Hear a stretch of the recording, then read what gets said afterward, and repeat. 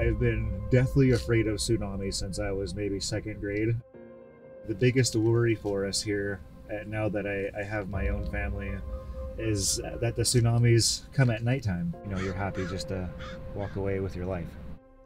The climate crisis is primarily a water crisis. Water-related disasters have more than doubled over the last decade.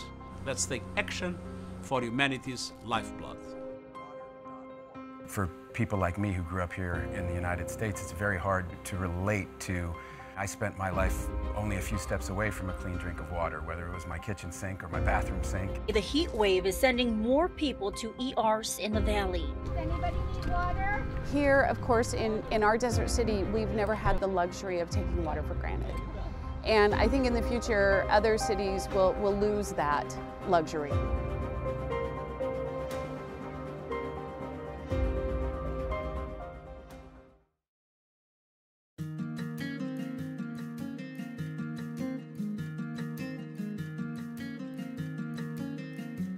So we, we house a lot of the canoes in here. Some people keep theirs in their yards. They keep them inside of their own little personal garages. But uh, what we have here is we have two of the uh, two of the elders here. They're both woodworkers. You don't have them cut yet? Oh my goodness. Where do you get good help at? I didn't bring it. I forgot it. This is this is made out of one tree that was uh, over a thousand years old. If, if there was a gold 13,000 years ago when we were here, this is an, a Native American gold. We had a couple of uh, elders on that, that first street there that uh, were, were actually trapped in their home, and we had to send a boat in, you know, to get them out, you know, you know, get them warm, uh, feed them, so on and so forth, and house them for, for a week. When the floodwaters came in here last year, they, they were just about a half of a block away from me. So we, we were, I was really close to the point of having to, having to move too, but I didn't, um, I don't know. It's a, it's a tough call to want to move away from this. So we're, we're all people of the water here. This water, this water's been feeding our people and keeping us alive for know, the last 13,000 years. We've always been here. I've been through four tsunami evacuations here inside of the village since I was a, a young boy. We have these tsunami sirens that we're really fortunate to have, but they, they, say that they're good for about 10 to 15 minutes of evacuation time. that means no belongings, no pictures. You, you kind of just walk away and you know you're happy just to walk away with your life. Relocation came about because of the threat of the rising tide.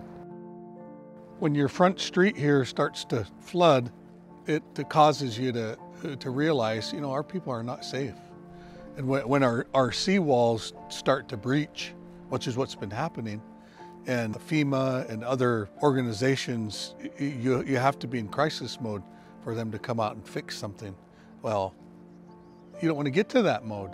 Traditionally, uh, our people have, have always made our villages uh, along the river here uh, or along the ocean. And, and that's because all of our food stuff is from right there. So it's so much easier to roll out of the bed and go out the house to jump in your canoe and you're already at the fishing ground.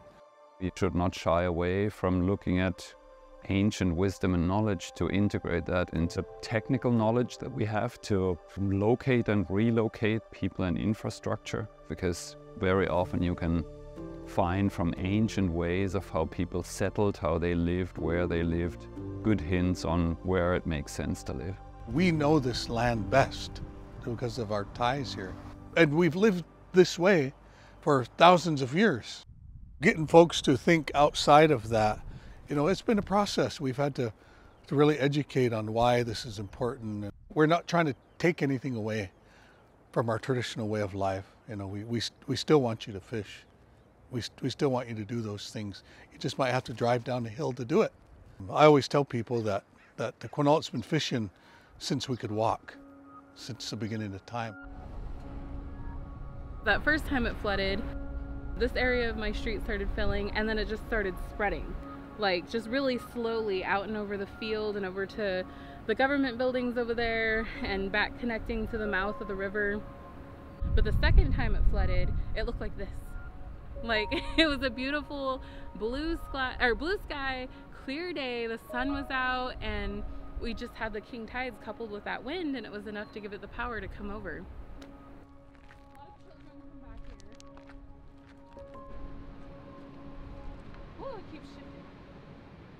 Every time I post it, they're always super jealous of all my posts until that one week comes in winter when everything floods again.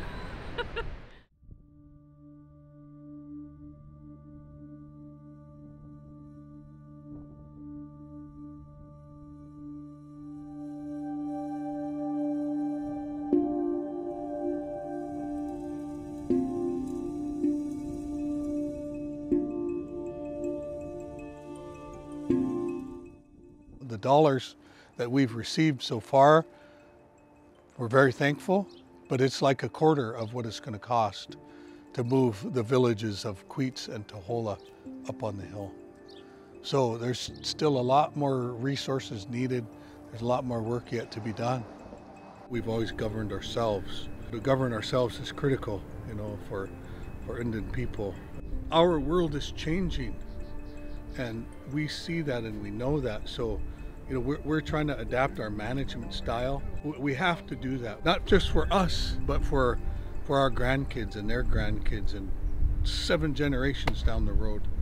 If we don't do that, then there won't be no fish here. There won't be no trees here.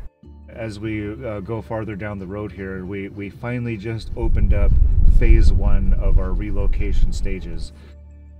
About 20 years ago, the relocation of our medical facility was the first to move out of the tsunami zone. A project like this is a little bit overwhelming. We were fortunate enough to be able to get our, our own 10 million into this infrastructure and we we recently received 25 million from the Biden administration. Our housing department will be moving through here next and the finished product will be 59 residential lots. The climate crisis is primarily a water crisis. I think uh, best reflected or expressed in two things. The, if you look at the sea level rise, it's sweet water melting from the glaciers, from the Antarctic ice shield, Greenland, and it's also a thermal expansion of water. And also the other um, good example is the different distribution of rainfall that we will have in the future. We are starting to see that. We have longer dry spells. We related to that we have more fires. So all our environment changes if the rainfall changes because the rainfall is that moisture in our ecosystems, in the soils that A, lets our plants grow, but B, also protects us from extreme heat and dryness and those factors.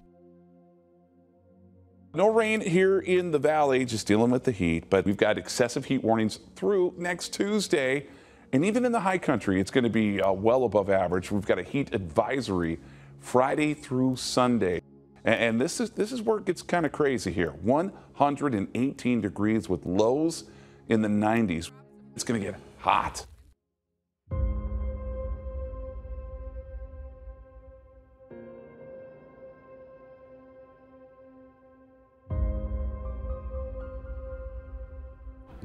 Definitely a higher sense of urgency. We are unfortunately seeing the number of heat related deaths go the wrong direction every summer. For me, if I could just get that number to stop, that would be a win. And then obviously if we can start decreasing it, then that's that's really what we want to see. But it's it's more than what I'm doing. It's it's more than the planting trees and all of that. We we need to find housing. We need to find shelter. We need to meet people where they're at and provide resources to them so that they are not at the high risk of uh, heat-related incident. What we're telling people as we're out here is if you start getting dizzy, if you start feeling faint, it's actually if your heart rate starts to go down and you're just really starting to lose like ability to make decisions, um, you need to get inside. It's about knowing those couple of triggers, letting them know that the libraries and churches act as cooling centers and respite centers for them to get inside um, and to drink some water because it gets dangerous really fast.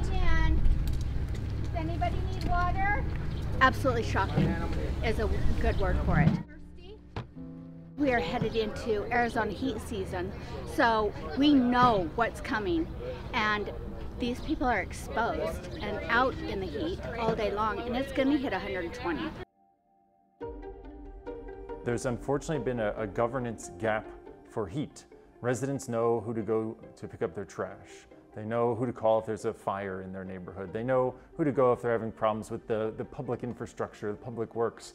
But what if you feel like your neighborhood is too hot? What if you're concerned about the number of people who are getting sick or dying from heat? Who's the problem owner? We're really proud here in the city of Phoenix to have the first publicly funded local government office focused on extreme heat. There's no one here in Phoenix for whom heat isn't some sort of inconvenience. Maybe the seatbelt buckle is too hot. Maybe we pay a little bit more than we'd like uh, on our air conditioning bills. But for some people, heat's an inconvenience. I would absolutely characterize the situation for a portion of the population as an emergency. People are going to the hospital. People are dying. People are calling 911 because of their experience with heat. Unfortunately, we've seen rising public health impacts from heat here in our region. Last summer, we just set another record of heat associated deaths. 425 people died prematurely because of heat in our county. People experiencing homelessness have approximately a 300 to 400 times higher rate of heat associated death than the rest of the population. So the best investments we can make to move the needle there are in affordable housing, in shelter. We think that the, the heat risks in the community are held by a, a relatively small segment of the population, which is good news in that it means we can be very focused. I think what we can do is provide guidance, direction, uh, energy, and evaluation uh, to ensure that we remain focused on this really important challenge. I think the water situation, whether it's a function of having too much water in some places or too little water in other places, is absolutely the result of climate change. After World War II, when the advent of air conditioning came into play, we really became a destination for people to relocate and move their businesses and move their lifestyles and come to the desert. The problem then we encountered post World War II was we still had very healthy agriculture going on locally, and then we had a growing, burgeoning population that really started to move in. And, and people gradually, gradually change their behavior in terms of how they think about water and how they use water. And so we've seen that as a tangible result in that We've seen demand for water in the Phoenix metro area go down about 30% in the last 30 years, and that trend continues to go downward. Phoenix was actually very carefully chosen by uh, ancient Native Americans who, who first came here and established a, a really impressive and extensive agricultural civilization. Um, and in fact, what they figured out is that they could divert the flows of the Salt and Verde rivers into an intricate system of canals that, that we still use to this day. Ancient people understood this. They understood that you live where the water flows to, not necessarily where the water comes from. Our water originates as snowpack high up in the mountains. Living downstream actually affords you more drought resiliency because you have the benefit of a larger watershed. The state of Arizona has been experiencing a very extreme drought over the last approximately 20 years or so. And in fact, we can tell from tree ring analysis that it's likely the worst 20-year drought in about 1,200 years. Scarcity is a challenge, but I think it's a little bit of an easier challenge to overcome than sea level rise, for example. It is much easier to move a relatively small amount of water from where it is now to where it needs to be in the future to meet demands than it is to move entire oceans out of cities. About 60% of the water that's delivered in the city of Phoenix actually comes from the Salt and Verde River system, delivered through canal systems like this one. Um, a little less than 40% of the water delivered in Phoenix comes from the Colorado River, and then a very small amount is groundwater. So Phoenix actually invested about uh, on the order of $500 million so that it could move uh, water supplies from the Salt and Verde River system into parts of Phoenix that today are dependent on the Colorado River. We like our sprawl, right? We are, we are not a particularly dense city. Um, here there's a lot of land and homes and businesses are very spread out. And what that means is that we have a very large water distribution system and it's an expensive one. So that is a challenge for us, especially when we look at scarcity and the potential for dead pool or less Colorado River water availability in the future.